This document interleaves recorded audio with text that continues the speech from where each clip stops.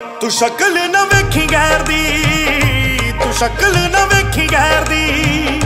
ਜੇ ਯਾਰ ਨਹੀਂ ਬਣਾਉਣਾ ਗੋਰੀਏ, ਮੈਨੂੰ ਝਾਂਜਰ ਬਣਾ ਲੈ ਪੈਰ ਦੀ।